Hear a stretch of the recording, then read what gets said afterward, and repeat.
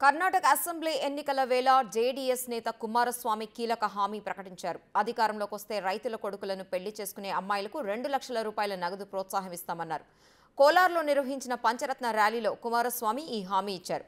రైతుల కొడుకులను పెళ్ళి చేసుకునేందుకు యువతులు సుముఖంగా లేరని తన దృష్టికి వచ్చిందన్నారు అందుకే ఈ నిర్ణయం తీసుకున్నామని చెప్పారు. రైతుల పిల్లల ఆత్మగౌరవాన్ని కాపాడేందుకు ఈ పథకాన్ని ప్రవేశపెడతామని తెలిపారు. కర్ణాటక అసెంబ్లీ ఎన్నికలు మే పదిన జరగనున్నాయి. మే పదమూడున ఓట్ల లెక్కింపు చేపట్టి ఫలితాలు ప్రకటిస్తారు. కర్ణాటక అసెంబ్లీ ఎన్నికల వేళ జేడీఎస్ నేత కుమారస్వామి కీలక హామీ ప్రకటించారు. అధికారంలోకి వస్తే రైతుల కొడుకులను పెళ్ళి చేసుకునే అమ్మాయిలకు రెండు లక్షల రూపాయల నగదు ప్రోత్సాహం ఇస్తామన్నారు. కోలార్లో నిర్వహించిన పంచరత్న ర్యాలీలో కుమారస్వామి ఈ హామీ ఇచ్చారు.